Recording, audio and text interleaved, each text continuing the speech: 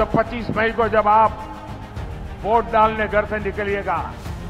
तो विकसित भारत का लक्ष्य याद रखिए आपको पूर्वी दिल्ली से श्री हर्ष मल्होत्रा जी और चांदनी चौक से प्रवीण खंडेलवाल जी को